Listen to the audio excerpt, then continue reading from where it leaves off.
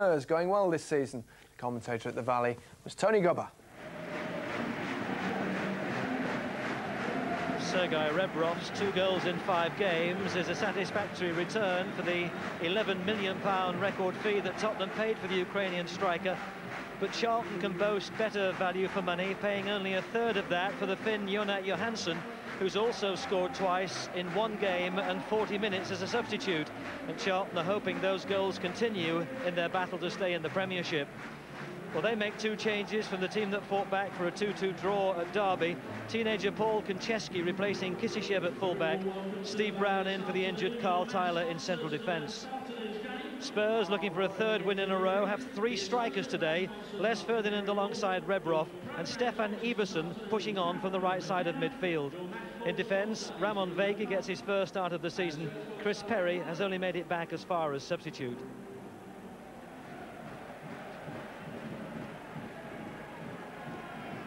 Jeff Winter is in charge and after three wins in five games Spurs are sitting pretty just one point behind the leaders Manchester United. Charlton with half as many points in the same number of games are in the bottom half of the table Spurs have got a good record here in fact they uh, they haven't lost here since 1953 although there haven't been that many meetings teams in different divisions Spurs winning 4-1 on their last visit in April 99, the season when Charlton were relegated. Brown will take the free kick. Campbell organising defence for Spurs. Just brushed the forehead of John Robinson. Alan Curbishley, the Charlton manager, in discussion with his assistant.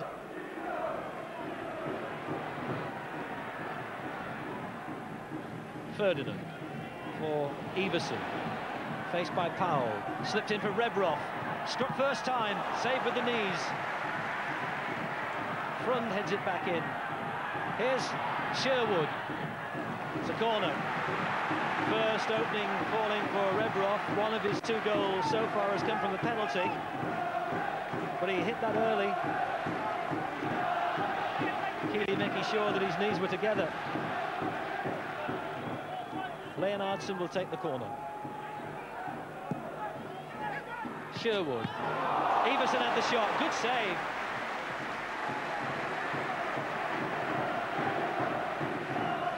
Uh, Steffen Iversen, top scorer for Spurs in the last two seasons. Close to finding his first goal of this season. Campbell's header. Back in by Robinson. Hunt back to Robinson. Left foot!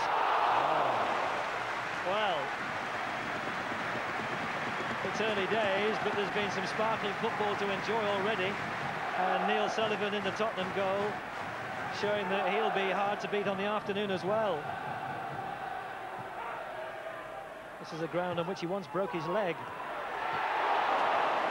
Head at that time was by Rufus. It wasn't uh, anything like a difficult save for Sullivan, just dropping on the ball on the goal line.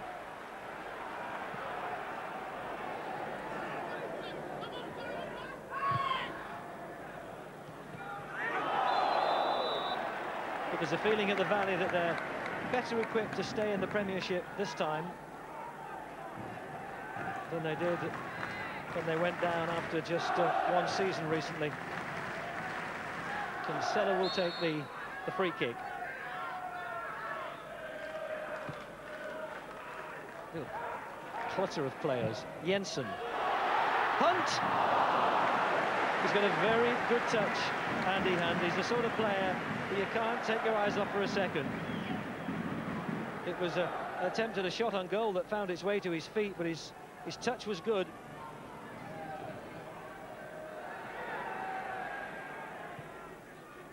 Rebrov to Ferdinand. Iversen. Ferdinand back to Carr.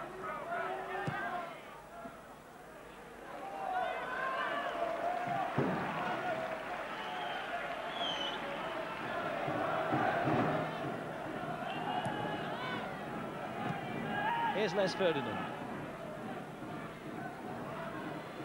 Trying to brush past John Robinson. Rebrov. Oh, it's a great strike! Well, it was a fiercely struck chip, wasn't it? Tried to clip it onto the top of the netting. George Graham, two years in charge, has already won a League Cup. But Spurs have only managed to finish mid-table in the Premiership. Taricco. Rebrov.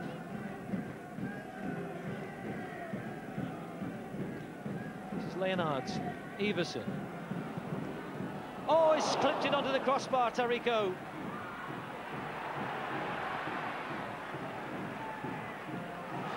Charlton's goal survives again. Here's Jensen on the break. No width on the right side, so here's Powell on the left.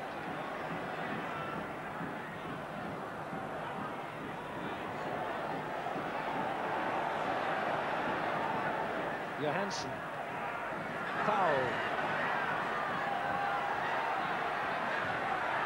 Robinson. Now can he deliver an important ball? Oh, it clipped Freund and that changed the direction and Neil Sullivan couldn't get back to it but he's saved by the post. So Charlton's response to having their own woodwork rattled is to do the same to Tottenham. Comfortable catch for Sullivan. Oh, Mauricio Taricco was George Graham's first signing for one and three quarter million pounds from Ipswich.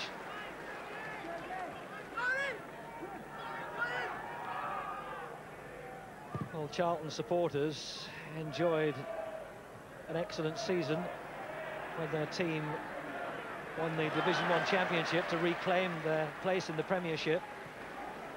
It's knocked into Graham Stuart. Oh, he let it run. He's confused Sol Campbell.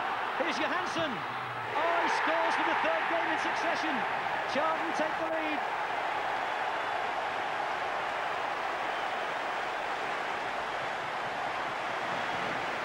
Graham Stuart just let it run.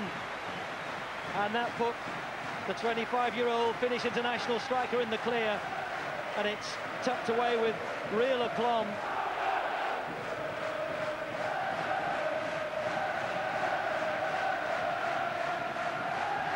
Graham Stuart's little dummy seemed to catch Sol Campbell out.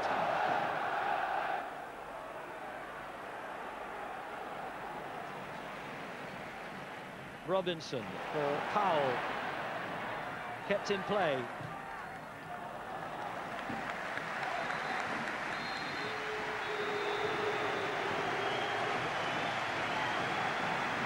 Well, Jonathan Johansson came on as a substitute to get the equaliser in the 1-1 draw against Southampton. He got the first goal when Charlton fought back from being 2-0 down against Derby County to get a 2-2 draw. And he's got the first goal of this match here at home to Tottenham. And what a priceless strike it might prove to be. Charlton in desperate need of the three points. And a half-time score here at the Valley of Charlton 1, Tottenham nil.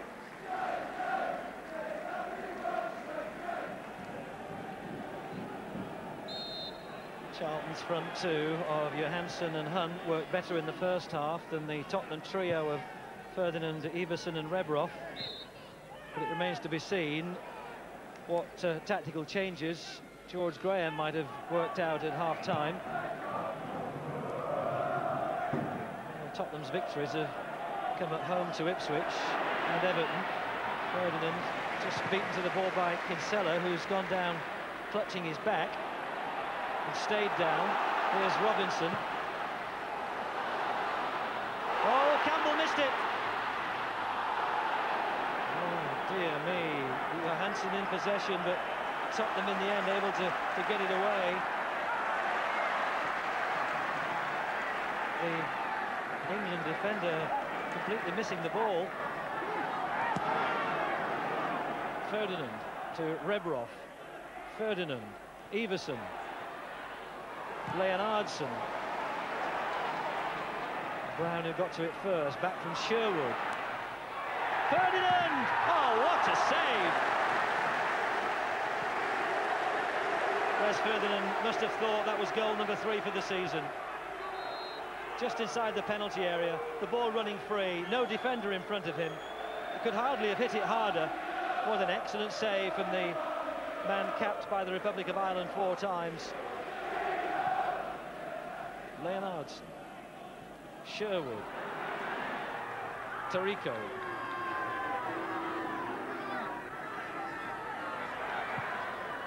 Ferdinand, oh, he's done it again. And then the follow-up shot as well from Iversen is saved by Kiely. Well, nobody heads the ball better than that in that position than Les Ferdinand, and he got that one perfectly, but he still couldn't beat the Charlton keeper. The manager comes down from his position in the stand with a, a of notes and observations. Chipped in for Ferdinand, headed down by Rufus. Here's Rebrov, shot was blocked. Freund thought about a shot. Iversen did. Back to Iversen. Sherwood. Ferdinand arrives. Out by Rufus. Back by Sherwood. Iversen! Oh, he's headed wide.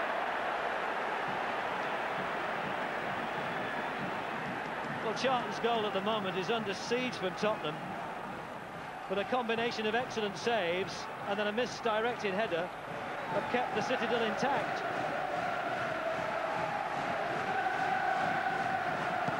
Konchesky. Johansson gets underneath it. Vega came over the top. Free kick. Vega suggests Johansson was making a back, but the free kick is given to Charlton. Jensen will take the free kick. Can Charlton get a second, having survived so much in their own penalty area? Hanson's header.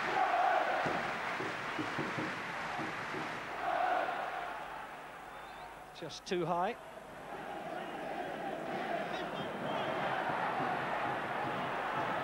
And Charlton more concerned with running down the clock perhaps than getting goal number two. Johansson into Kinsella. Robinson. Oh! Well, both keepers have produced excellent saves in this match to deny opponents goals.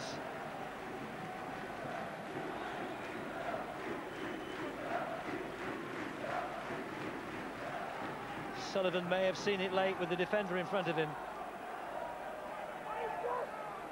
Now organising his defence as Charlton take the corner. Kinsella. Came a long way to pull it down one-handed. Alan Curbishley with desperate last gasp instructions. Johansson. Newton. Runs around Clemence. Out by Taricco. Charlton the throw. Jeff Winters checked his watch.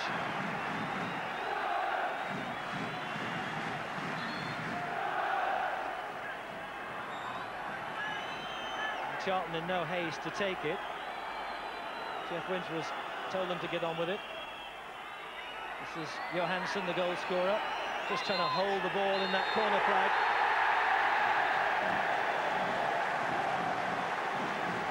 Charlton record their second win in the Premiership. Tottenham's run comes to an end. Alan Curbishley can enjoy a smile of quiet satisfaction and it's the, the cheaper of the two strikers, Jonathan Johansson, three and a quarter million pounds from Glasgow Rangers, who got the solitary goal just before half-time. And a victory that was secured by some excellent saves from Dean Kiely. Charlton one, Tottenham nil. Alan, what, what was the key to that victory? Well, I knew that um, Spurs being um, a big, stride, a big side and a strong side, um, we knew we had to defend once the ball went in our box. And uh, I think if you look at the chances they created, they were off of things that got knocked down uh, from an aerial challenge or whatever. And we had to make sure that we could match them physically.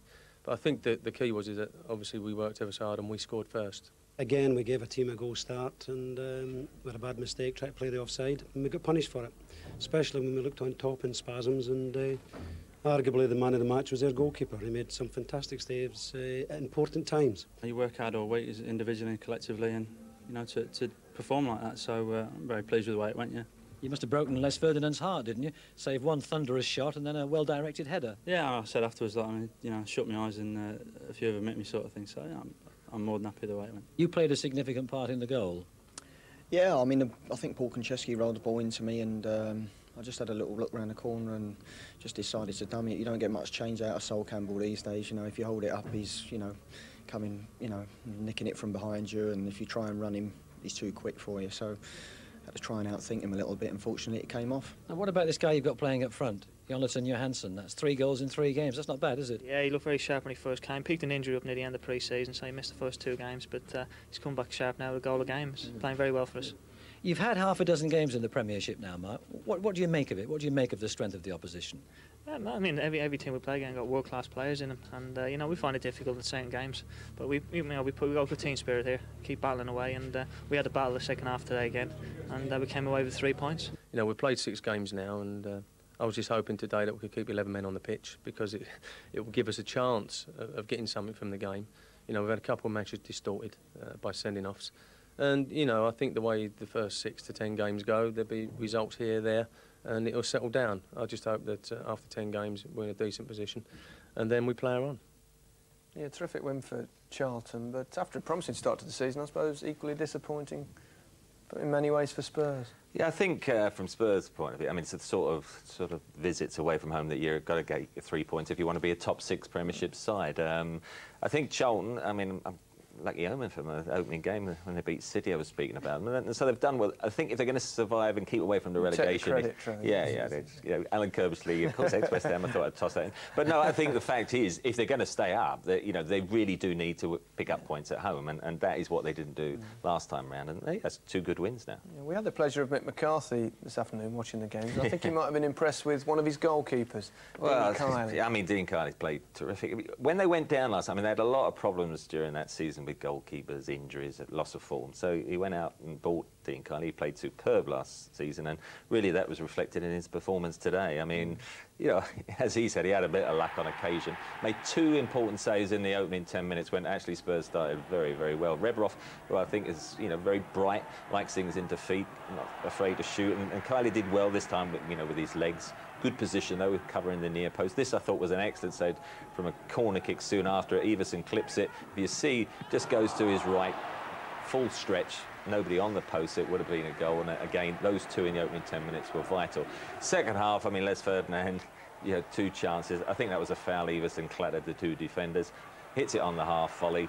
Yeah, good power, but possibly a nice height, but good strong wrist and gets distance away. Uh, and again, good reaction from him. And then this header, Les Ferdinand, you think in the air, unmarked. Either side of him, it, it, it must be a goal. Knocked it straight at him. Bit of self-defence, I suppose. Up he got, though, and pounced on the Iversen one. And, and at that stage, are they ever going to score? And I think a minute later, you think they aren't because, you know, this one from Tim Sherwood, Iversen, you think he must score. Uh, and to miss the goal from there, well, I think it's going to be your day and goal. Mm, they, they missed one or two good chances, but they're a bit shabby at the back as well, Spurs on occasions, weren't they? Yeah, well, George said, I mean, Ramon Vega just come back into the side. He said, you know, it's a soft goal. I mean, they tr sometimes try to play the offside, and, and I think once you hold the line, especially perhaps when you've got somebody new, I mean, Vega here is marking Johansson, and, you know, the ball's knocked into to Andy Hunt. It's a pretty straightforward. You, have got to stay with the run. It's just clipped over the top. As you can see, look, his goal side, he's very square on. He's not sideways on. And at this stage, I think to myself, goodness me, he's going to be clear on goal. But actually, Steve Carr comes across, puts him off, and he scuffs the shot. But but the actual goal itself wasn't that dissimilar. Konchesky knocks it in. It's the dummy from Graham Stuart. And I think, again, goodness me, how's he that clear? He must be offside. Everyone's got their arm up. But actually, when you see it, this is this is Vega again with Johansson. Ball's knocked into Stuart you know, and when it's here, I think Vega thinks Stuart's going to control it, so he decides to step up. But I mean, you know, you've just got to wait because once he comes up there, he's not offside. I mean, he's just there's no get out clause from there. It's a, it's just a such a giveaway goal, and and from then, home side's got a boost, and, and your own team's struggling. And so that is a very soft goal. Okay, thanks, Trevor.